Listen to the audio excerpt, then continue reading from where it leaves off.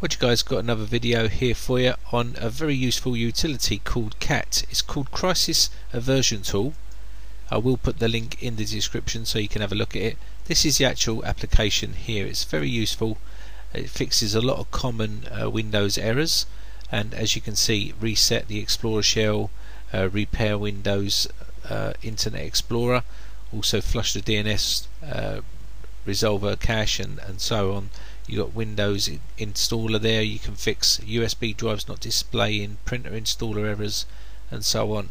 It's got some very useful tools there.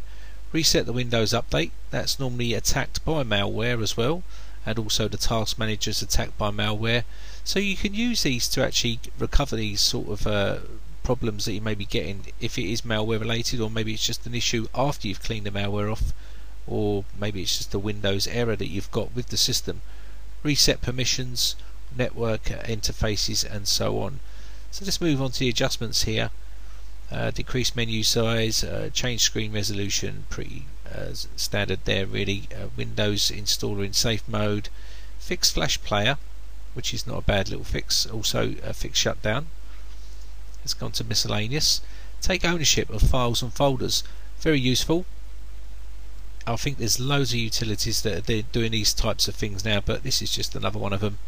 Again, you can uh, actually take ownership of a file or folder, uh, fix a PCI uh, database lookup, and also upload a file to VirusTotal.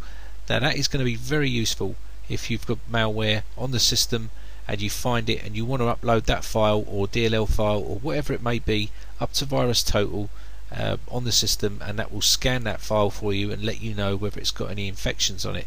Um, I had a guy called Michael asking me about how to upload that to VirusTotal and I was just showing him uh, this will be a sort of tool that you could use for that.